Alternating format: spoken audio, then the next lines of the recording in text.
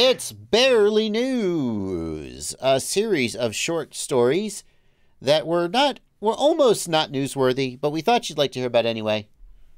We don't have a whole lot to say about them. That's true. We don't have a whole lot to say about them.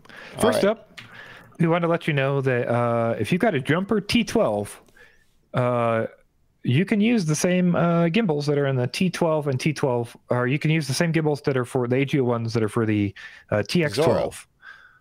and the Zorro. Oh, yeah, the minis. And the Zorro. Okay. Yeah, so those minis you can now use uh, with the T12. So we want to let you know those fit in there. So yeah, Oh, better jumper, better gimbals for the jumper. They just drop in? Just a straight I drop believe in? they just drop in. Yeah, I don't think there's any print for these. Brilliant. Nice. Yeah, no, looks like they just drop in. Those are definitely very, very nice gimbals. And uh, probably better than the gimbals, uh, the stock gimbals on the Jumper T12, although they're not terrible. Uh, they're Uh, certainly better, but yeah, I don't know how much better. Yeah. Okay. That's good All to right. know. Thanks to, uh, who was it that pointed that out? Who was, whose channel was that? Thanks to 3D printed drones for, uh, for figuring this out and making it, making us aware of it. Oh, Yeah. Mark Rober. Like to hear about him. Yeah, next up we've got a story from Mark Rober. Uh, Mark Rober has done his new glitter bomb, his final glitter bomb video, 5.0. I got to say, I think this was probably the worst video he's made so far, the glitter bomb series. Oh, uh, maybe no. people are maybe people are catching on. But one thing that's special about this one, why we're showing you this one, uh, is Ooh, that there's it, it drones uses behind him. It uses drones in the glitter bomb. Uh, so, in addition to the other changes he's made, people might not know, but basically he puts fake packages out on the porches and in cars, and attempts to get people to take these packages illegally. And then when they take the packages, they find out it's a glitter bomb and a stink spray, and basically ruins their house and gets some glitter everywhere and uh, gets the Which is all fair back. game because they're thieves. That's true, yeah. And but one of the things this one does is uh, it has drones, and the drones carry the, the glitter, and then they fly off and they just lay glitter all over your house. so yeah, Oh, should we spoil the video by just showing showing it happening? uh, maybe I don't know. I don't think he'll Yeah. strike us, but I don't think Mark Rober would strike us. Oh, I don't know where in the we don't have a timestamp to when the you know the magic happens. People can go watch Yeah. it. yeah, we just wanted to let you know that was that was Yeah. happening. So Yeah. Okay.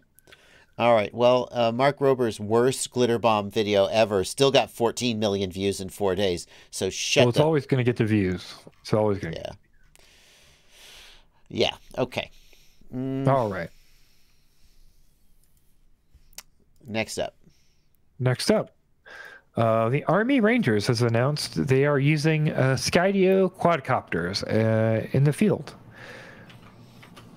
Uh, but Um, not not regular old Skydios that you could buy. That's correct. Yeah, the, they have a Skydio RQ28A, uh, which is their version of a fighting drone, but it might look familiar because it, it kind of looks like a carbon quadcopter. It does. You know? We only got this one Uh, picture, huh? Yeah, pretty much. There's a couple others around the internet, but that, there's not many good ones. Uh, yeah, well, it's top secret. Yeah. But this is uh, basically their first one they've ever announced, like officially using. So they're going to be training with it now uh, in their training uh, stuff and, and trying to use it in the field to uh, to do tasks and stuff. So it's pretty cool. I think this is the first we've seen of uh, of it officially used, at least for the Army Rangers. Uh, this is their first one. So they're looking Yeah. for about 500 of these, um, with a thousand by the end of March 2025. So uh, yeah, pretty good for Skydio and pretty interesting for the military. Yeah, the military uh, definitely people are looking for alternatives to DJI drones uh, because they're being told they're not allowed to use them uh, in, in the DoD and in the, in the federal government specifically, uh, and they you know definitely were using them. They're super useful, and people were just using them all over the place. And now there's a big opportunity for non-China based drone manufacturers like Skydio. I'm sure. Red Cat and Teal are hoping to pick up some of this action, but I guess they didn't make this one. Uh, well, they are. I think they're still in line for the tranche. It's literally just Teal and Skydio, as far as I know, in tranche two. So I think they're both giving like uh, stuff to uh, military to test right now. Uh, Interesting. uh, they, uh, Timberline in the chat points out, and the, also the article points out, it's very similar to Skydio's X2D consumer drone, Mhm. uh, with just looks like some tweaks for the military. Yeah, the military tweaks are uh, that it costs four times as much. That's it. no, Yeah. I'm joking. I'm joking. uh, well, that's pretty interesting. Uh, it sure seems like uh, this should be good. Like for the, the, the DJI ban uh, for the federal government, not not a general DJI ban, but for the federal government and the military specifically, should be good for Teal and Skydio. Oh, one hundred percent. Yeah. Why is Red Cat's stock so bad right now? I mean, they sold off their revenue. So unless Teal starts selling some drones, I think they're not making any money. That would be my guess. I don't know that much about what, what's actually going on. But from the outside view, uh, the people who are taking any on the books revenue are gone. So Right, because they they sold off Fat Shark and Rotor Riot. I guess Liftoff makes some revenue. Shouldn't write that. yeah, off. but I bet it's like pennies compared to Rotor Riot. You know, Rotor Sure. Riot was like six six mil a, a, a year or something like that.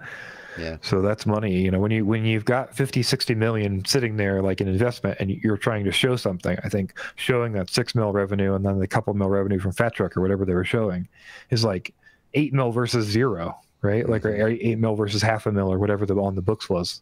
I don't even know if they've done a revenue report since then, but yeah, um, yeah, I mean, to me, that would be my fear about it. Is if Teal doesn't sell the drones, they've just dumped money into something that's nothing, you know. So. but they have to. I mean, who else is a drone manufacturer? th- Well, the Skydio won the States? tranche one, so it's possible that Okay. Skydio will just continue to win only tranche two, and then it'll be done, right? But I mean, that's they're the not thing. gonna. Hmm. Like it, Skydio could get all the contracts. So I think part of what Teal is trying to do is position themselves so they can make so many and make it so easily that they can pitch to them that like, hey, you don't have to wait till 2025 to get a thousand. We can give you a thousand in, you know, uh, six months. I, you know, that seems to be their their play. But right now, I don't know that that's the case. So Man, Um, there, there is a blue SUAS list uh, that shows you uh, who is on it and cleared. So right now, uh, that is Harris Aerial, Easy Aerial, Inspired Flight, Blue Halo, Wingtra, Never- Free never Fly. Systems, Ascent Aero Systems, and uh, Sense Fly by Ag Eagle. So those are all the like the names you've never heard of that are also making Free Fly, I've heard. They make the Alta. Uh, Daniel That's Riley true, works yes. there. That's the The Alta X is the one that got added to the blue SUAS. So. Oh man, the Alta's a blast. I got to fly an Alta. We, we, we did a Rotor Riot episode out there. That's Alta's how I got into drones because they were carrying gates under the Alta. That was the first video I ever saw. Oh, nice. I rem- that's the video I'm talking about. We put a Oh, gates okay. under the Alta, and we yeah, and we power looped the Alta. It's nothing like Nice. power looping a fifteen thousand dollar, thirty six inch prop, Yeah. whatever. that was the. 36. I was watching other stuff, and then I got into. Is it RC Test Flight who does the Alta, or is Yeah. it? Um, It's yeah. Daniel Riley, RC Test Flight. He works yeah. there. So, so I was watching other RC Test Flight stuff, and it wove me into that video, and that's how I got into FPV. The, the the you're saying that the RC Test Flight Rotor Riot collab was how you got into drones. We wouldn't be here right now. That's Yes. amazing. YouTube That's pitched me amazing. that collab because I was watching RC Test Flight stuff. That's amazing. The the connections in the world. You didn't think we were going to finish this whole broadcast without doing a meme, did you? Thank you, Black Jungle, for the memes. Uh, all right. Uh, we got uh, got a It's- couple it's more. fun- funny and accurate. Yeah. Cosmo Streamer. What is Cosmo Streamer, Blunty? Uh, Cosmo Streamer is a way online, uh, or basically a program that you can download uh, and use from this website, cosmostreamer.com, that lets you use a bunch of different program or a bunch of different hardware and stream it. Um, and one of the things you can do is use the DJI goggles with a free app. And now they've added support for the goggles 2. So if you've got the goggles 2, you can now use Cosmo Streamer with the goggles 2. So we wanted to let you know about that. So this is a way of getting basically video out of the goggles 2, other than the DJI Fly app, which has some drawbacks. Um, uh, and I think this- the other way you can do it is with the DJI RC Pro. That's what I'm I being believe. told. The DJI RC Pro controller can connect to the goggles 2. The DJI Smart controller can connect to the V2 goggles. Uh, w- Couldn't couldn't make it be the same one. No. Uh, but Cosmo Streamer can do them both. And if Cosmo Streamer can do it, does that mean we can expect that like FPV out, wide FPV, DigiView, all those other apps that use that interface will be getting it I'd, too? ass- I'd assume so, um, but yeah, I'm not 100% sure. But yeah, my guess would be since there is an avenue, we, we would probably see the other apps get the same thing. So Okay. Yeah, this is video out, not video in. It's Yeah. basically a way you can stream the feed from your goggles to an external display or to the internet. Um, great. All right. Uh, We got Next a up- monocopter. yeah, we got a monocopter. So uh, we were sent this by a few different people. Uh, this guy has built a 3D printed monocopter. So if you want a cool project to do, I think this is definitely on the list. Though I don't think he's published the code for his flight controller. Uh, It has basic. It's a wing That's correct. with one propeller offset. Does he know that airplanes exist? If you just move that motor over here to the center, you'll have an airplane. And then, why did you do this, sir? Well, uh, yeah. So it's a one motor and a servo. Uh, Okay. and that servo controls a flap to keep it uh, controllable in flight. Uh, I think he did it because it's cool. That would be my It is okay. Okay. In the chat, he's about to fly it. What is it going to do when he lets go? What do you think it's going to do? Tell him. Tell me in the chat. Uh, oh, that's the most dangerous launch I've ever seen. and damn, look at. Oh, that's the perfect freeze frame. It's coming for your face.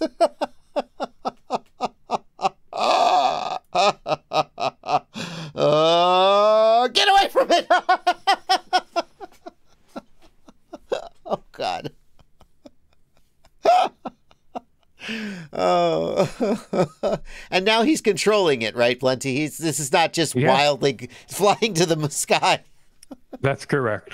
Yeah, he does have some control over it. Uh, that's kind of the yeah, that's the idea behind it is where he's got it set up with a flight controller so he can uh, try to get it somewhat stable in flight. And in this video, he's testing uh, I think five inch versus six inch props to see like how the angle of flight changes with the thrust and stuff. So Wow. Well, that's sketchy as hell. Uh, I'll never get tired. He's gonna lose his face. This is ridiculous. Why don't you launch it facing away from you, sir? Ah! Oh God, this is not safe. you gotta, you gotta. Oh, that's working better though. It looks more stable.